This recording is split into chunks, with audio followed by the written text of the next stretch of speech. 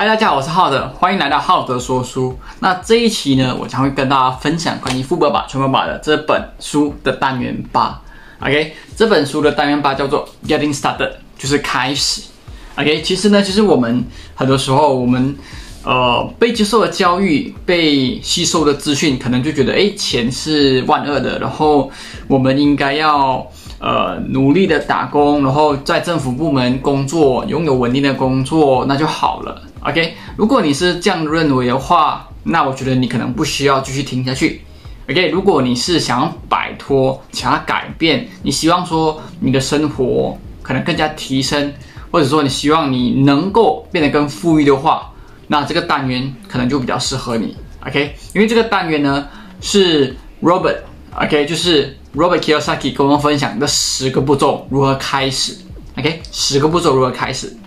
那第一个步骤呢，就是找一个理由。我用英文先说，然后我再用华语去解释哦。Find a reason greater than reality，the power of spirit。OK，那基本上就是我们可以找一个理由，让我们想要去做。首先呢，这里呢，他有跟我分享了两个方法。你可以先从你不想要的或者你想要的去思考。OK，这样的方法很简单。第一个是不想要，第二个是想要。那比如说，我不想要什么？我不想要看到我父母很辛苦的去工作。我不想要，当我孩子长大的时候，我没有时间陪他们，这是我不想要啊。那我不想要，我想要休息的时候，可是我老板一叫我，我还要去工作，这是我不想要的东西。所以也因为这些不想要，我我觉得我更应该拥有更好的生活。OK。那接下来我开始分享，我想要啊，我想要很多钱，我想要环游世界，我想要就是工作以外，我的生活也能多姿多彩，这是我想要的。所以我们可以通过知道自己不想要，还有想要的，找出一个你自己为什么希望变成更富裕的一个理由。那以上刚刚分享的就是我的理由，因为我真的不想要被束缚。就是被绑住，我也希望如果将来我有孩子，我真的希望我可以陪他们长大。OK，我不想像呃传统的父，尤其是父亲的角色哦，很多时候就是一直去工作嘛，然后孩子就只有妈妈陪，很少缺乏了父爱。那这个是我不想要的，所以我一直在追求的，就是我希望我可以可以一呃将来如果有机会可以陪伴我孩子啊，这个我很明确，我知道我要的东西，所以这个就是我一个很强的一个原因。为什么我会一直去创业，然后一直去提升自己，一直去把我的能力提升上来？我希望有一天我能解决到我这个部分。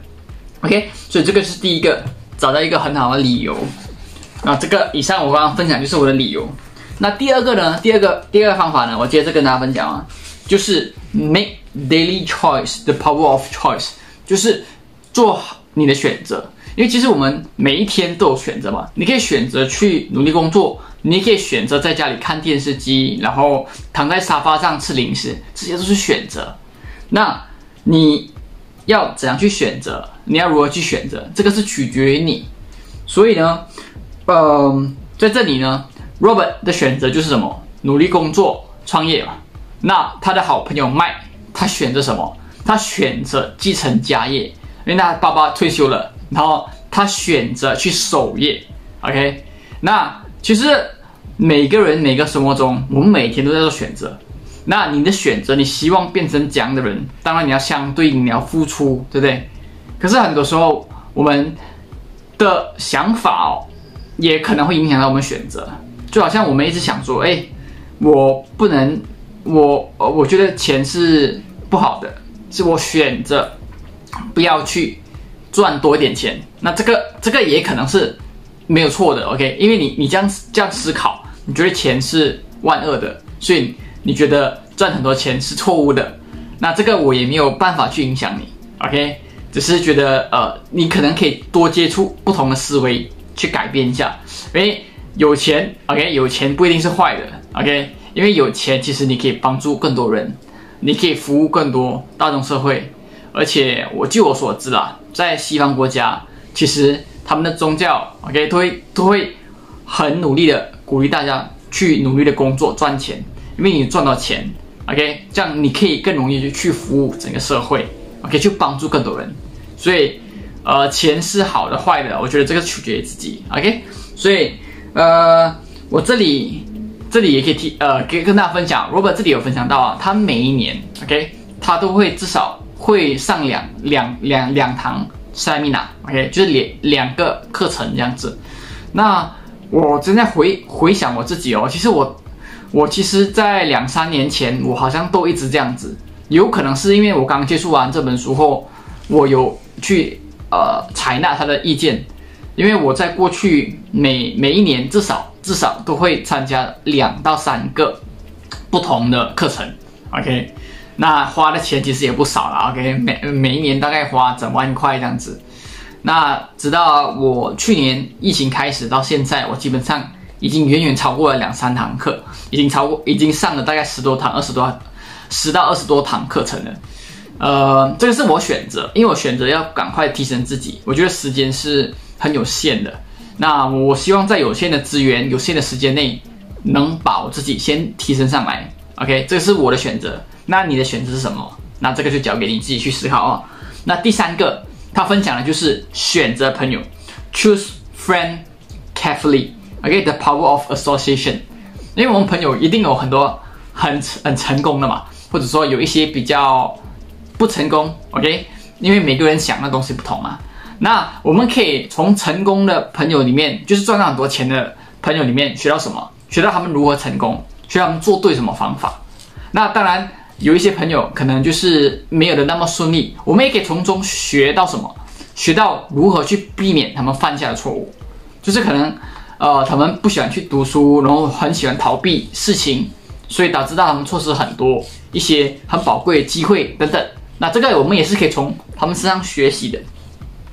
那呃，还有这里 r o b 有跟我们分享啊，其实我们也要比较小心一点，就是不要很常去听那些比较害怕、那些比较我们讲思维比较狭隘的人的一些意见，因为呢，他们给的意见很多的时候是都比较偏负面，而且他们都没有去尝试过，就告诉你这个东西不行的，没有测，他们没有去测试，就是跟你说这个方法是错误的、不行的，所以。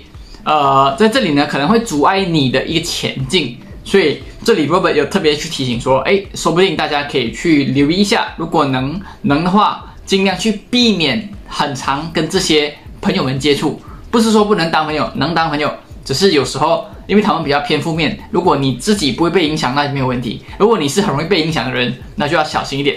OK，那第四个呢？第四个呢，就是 master a formula and then learn a new one。The power of learning ability，OK，所以第四点呢，就是教大家赶快，OK，把自己的学习能力提升上来，OK，把自己学习能力提升上来。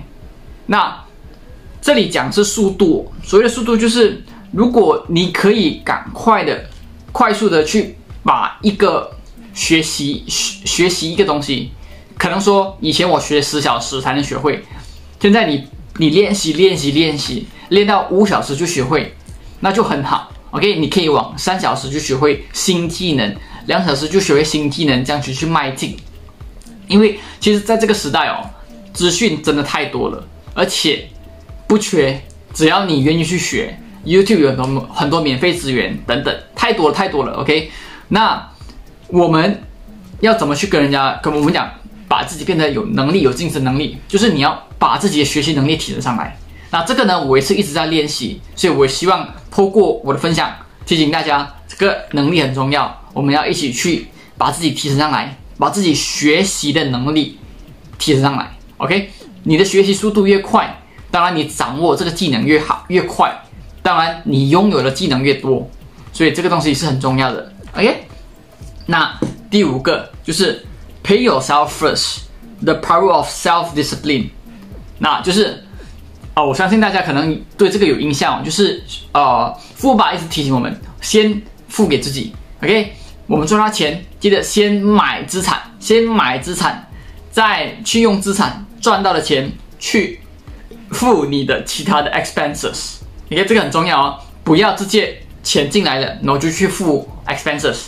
我们要慢慢的把我们的资资源、我们的钱、我们的时间，先去累积我们的资产，然后。把资产带给我们的收入，才去买我们想要的东西，才去花，才去付费。OK，这个很重要啊。当然，如果如果你是欠很多钱，当然你一定要把债务还清啊。不要不要认为说，哎，什么东西就是先给自己，然后你的债务不需要还，那这个是错误的啊。你一定要就是在自己适当的能力范围以内，OK，开始去累积你资产，然后把这个资产的钱去付掉你的一些费用，OK。所以这个是第五项。那接着呢，我们讲第六项。第六项呢，就是 pay your broker well，the power of good advice。OK，就是，嗯，我们要适当的，我们要把我们的钱就是放给给那些专业人士，不要去省这笔钱。OK，因为很多资讯其实是无价的。就比如说，很多时候我们可能想要省，我们觉得哎，这个这个人他的服务很贵，我就选便宜一点的。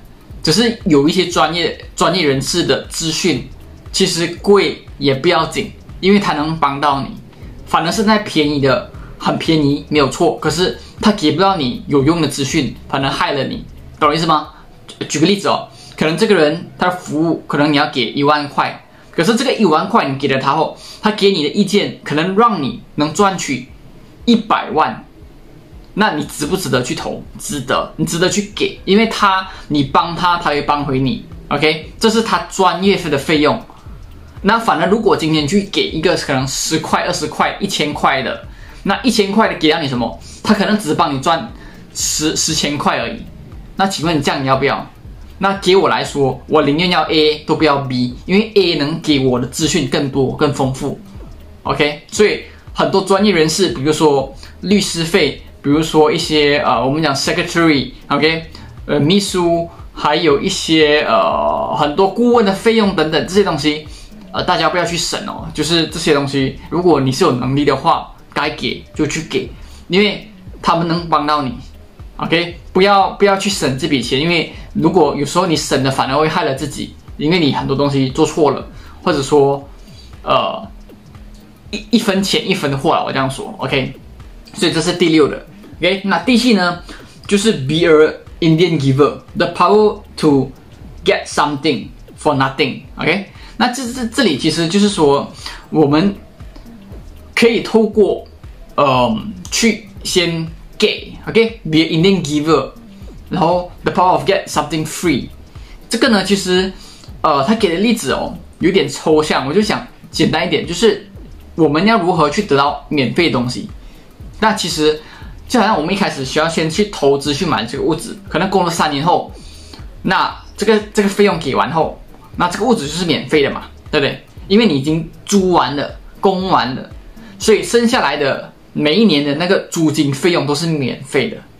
可是你要有这个免费的这个钱进来，或者说你买股票，他给你股息的这个钱进来，你也得需要有这个风险承担。就是每个都东西都有风险嘛，就是你不可能买每个物质都每个物质都帮你赚钱，所以当然在这个这这个方面呢，就是你需要冒一点风险，OK，冒一点风险你才会有这样的回报，OK，如果你没有冒这个风险，你觉得每个东西都很危险，那当然你只会在原地不动，当然你也不可能会有免费东西给你，OK，所以这个就是第七点跟我们分享的。那第八点呢，就是 use asset to buy luxuries，the power of focus。那其其实在这个单元八呢，啊，所以第八个例子呢，他有跟我分享到，就是呃，Robert 有一个朋友，OK，Robert 有一个朋友，呃，他呃，他想给了孩子，他孩子应该说他孩子想要买一部车，三千块钱，那他跟他爸爸要，那 Robert 的那个朋友就是这个爸爸嘛，他就跟 Robert 刚好聊天。然然后 Robert 就问他，哎，那你有给他吗？我有给他，可是我给他的方式是什么？就是我给他，我给他三千块钱，然后我要他去用这个三千块钱去赚钱，OK？不管是投资股票还是买什么东西都好，只要你能赚到这笔钱，你要把这这个三千块我给你的钱赚成六千块钱，OK？那这六千块钱。有三千块钱，你是可以拿去买车，OK？那剩余的三千块钱就是你这学期的学费。所以这个就是他这个朋友给他孩子的一个方式。当然，这个孩子目前来说他还没有赚钱，可是可是他已经开始意识到，原来投资这个知识很重要。他一直开始去研究，花很多钱，就花这笔爸爸给的钱，这三千块去研究、去投资，然后大量的去找资讯等等。那他测呃，他去测试了一千块去投资，然后失败了，然后还有再再测试多一千块，还是失败。那现在还剩一千块，可是呢，他孩子呢，现在已经把重心放在放在去研究投资，而不是研究去思考，就去买那部车了。所以。这个呢，其实就是在跟我们分享，就是我们想要买，我们想要买一些呃名牌的东西，luxuries，就是不是必需品哦，是我们想要的东西的时候，我们可以利用这样的一个例子去让我们自己先去累积资产，用资产带给我们的收入，再去买我们想要的 luxuries，OK，我们想要的一些手表啊、车啊、名牌包包等等，OK。那这个就是他的朋友用这个方式去教育的孩子，OK，告诉他你要可以先把我这笔钱赚成两倍后，我就给你花这笔钱，OK，所以这个就是一个我觉得蛮好的例子，可以让大家去参考。那最后第二个呢，就是 Choose Heroes，The Power of Myth，OK，就是这里会不会有分享到啊？他其实他有很多心目中的一些偶像，那。这些偶像呢，就是他的学习对象。那比如说，他有提到特朗普 （Donald Trump），还有 George Soros，这个是一个投资里面很厉害的人。OK，等等，他都会去追随他们，然后去学习他们的方式，他们做了什么，学习什么，看些什么，然后他们是如何去思考，如何去想的。OK，他是有这个我们讲 idling，就是有一个学习对象去楷模对象去学习。那这个我自己也有很多。OK，那我因为我很喜欢很多不同的东西，OK，有可能商业领域的，可能有运动领域的，可能有电脑的，可能有一些狗的等等，我有很多很多很多，呃，这可能有超过一百个吧，不同不同领域的一些，对我来说就是我的学习对象或者我的偶像等等，那这些都是我都会去找他们的想法、看法等等，这个是我的方式哦。那大家，我觉得也可以建议大家去找几个你喜欢的对象，就比如说，我举个例子啊，很简单的，巴菲特是我一个很喜欢的对象，那 Robert Kiyosaki 也是我很喜欢的对象，那还有呃，查理芒格，那这这几个都是在可能在商业界、投资界比较出名的嘛。那在在在一些武术呢，那可能就是李小龙，可能是成龙大哥等等，这些就是我的对象。OK，那。再给大家最后一个，最最第十个方法啊，第十个方法就是 teach and you shall receive，OK，teach and you shall receive 就是分享去教，OK，去教去分享。那在分享的过程中，你一定学到更多。就比如说我现在，OK，那《富爸爸穷爸爸》这本书呢，我已经读了很多次。那这一次呢，我选择就是开相机，然后就是跟大家去分享我自己读后的心得，或者说我。读完后，就在我想到的一些总结与大家分享。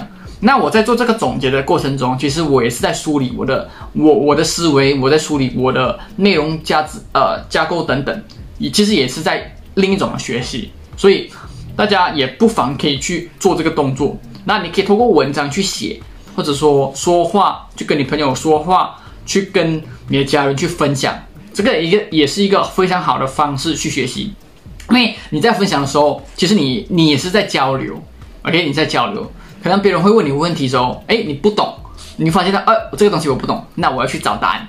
那这时候你又有更深度去学习，去搜寻你不懂的东西。所以以上这十点呢，就是 Robert 跟我们分享的，他会建议大家，如果你想要跳脱你目前的状况，你想改变，OK？那这十个方法是他建议大家可以去使用的，OK？那呃，以上就是今天的分享，OK，我希望能帮助大家。那在这里告诉大家，下礼拜呢就是我们这本书的最后的一个单元的，OK，它其实是补充的一个读物了，它不是它它不算是一个完整的单元，因为这个单元其实算是比较算 ending 了，然后下个礼拜呢，就是最后的一些，它有一些 additional 的一些呃建议等等，然后我再跟大家分享。OK，那我们下礼拜再见，谢谢大家，拜拜。